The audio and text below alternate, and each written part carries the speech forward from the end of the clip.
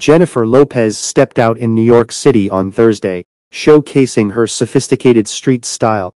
The 54-year-old hitmaker of Love Don't Cost a Thing wore a gray sweatpants and graphic t-shirt underneath her opulent cream fur coat to stay warm for the nighttime outing. The mother of two wore her massive gold earrings, white sneakers, and a white hat with her ensemble. The actress accessorized with a monogram JLO, Gucci, duffel, bag, and a tiny mint Valentino purse.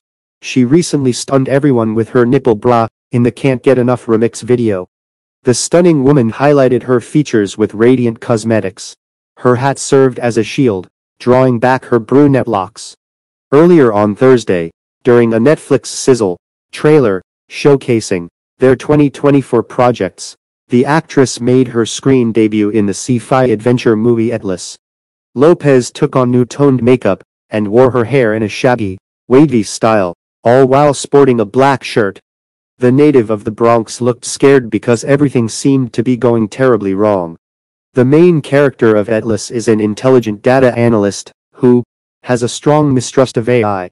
She enlists in a mission to apprehend a rogue robot with whom she has a strange past.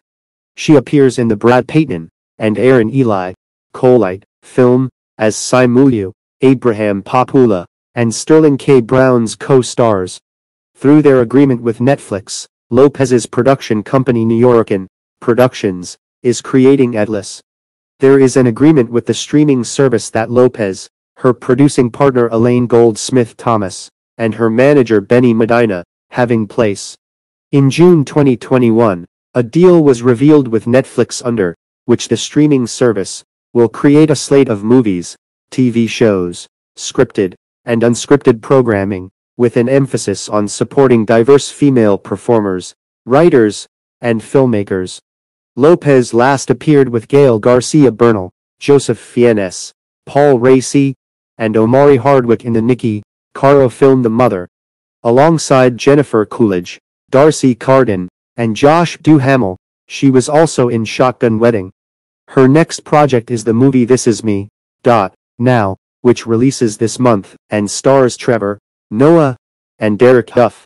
This comes after Trevor Noah claimed that when Lopez contacted to ask him to appear in her film, he assumed it was a prank.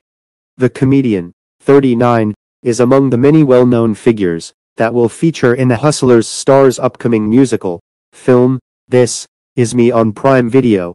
Now a love story, which will be available on February 16 along with her brand new album of the same name. Trevor said that when he was approached to participate, he was astounded. That was a random call where your phone rings and it's Jennifer Lopez, and you're like, this must be a prank, he told People magazine.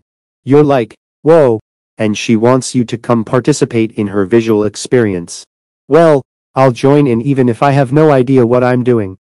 Fat Joe, Kim Petras, Post Malone, Keke Palmer, Sofia Vergara, Derek Hough, and others star alongside Jennifer, her husband Ben Affleck, and Trevor in the movie. The former Daily Show host says he had a great time filming, despite not knowing what the finished product will look like.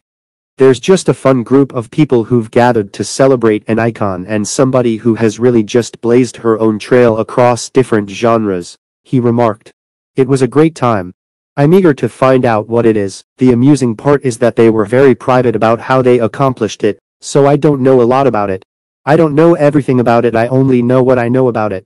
Like you, I'm eager to find out what it will be. The Marry Me actress shared a video clip with images from the new album in November for her 253 million Instagram followers.